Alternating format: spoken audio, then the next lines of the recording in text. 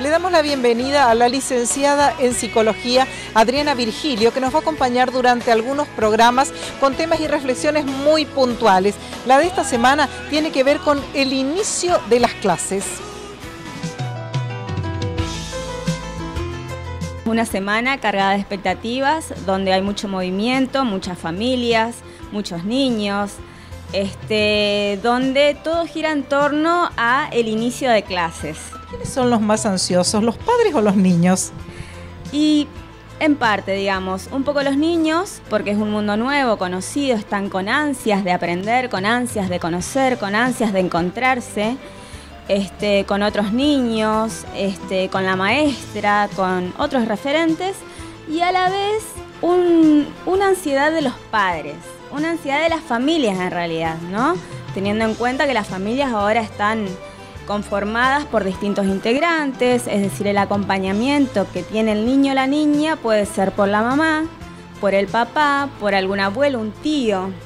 Entonces, habría que ver, digamos, cuáles son las expectativas que tienen las familias en relación a los aprendizajes, en relación a las notas, en relación a que sea buen alumno, alumna, en relación al éxito. Entonces habría que ver, digamos, este, qué, qué, qué significa el éxito, digamos. ¿En qué consiste el éxito? Son cambios seguramente profundos, tanto para el que ingresa al nivel inicial, el que pasa a primer grado, y por qué no los chicos que van a la secundaria, que hacen el clic en ese momento.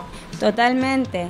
Están, no es lo mismo un niñito de primera infancia, ¿no? Que inicia este, su pasaje de la socialización primaria dentro del ámbito familiar a una socialización secundaria, donde se encuentra con otros compañeritos, donde incluso el entorno que lo contiene es totalmente diferente de un niño que ingresa a primer grado, digamos.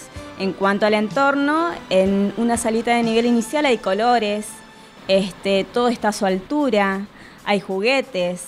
Y en una salita de nivel primario, eh, las paredes ya son blancas, hay una pizarra, hay bancos, pupitres, es decir, de estar sentados todos en rondita y mirándose, ya estamos mirando a la espalda del compañero. Entonces hay una serie de cambios en relación al entorno, además, digamos, de la relación que se da entre los compañeritos y con la maestra. Durante la semana tuviste oportunidad de conversar con colegas, con maestras, con mamás. ¿Qué te dijeron? ¿Qué te plantearon?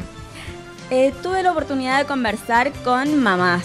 ¿eh? Y es muy diferente las expectativas que tienen, digamos, las diferentes familias. ¿eh?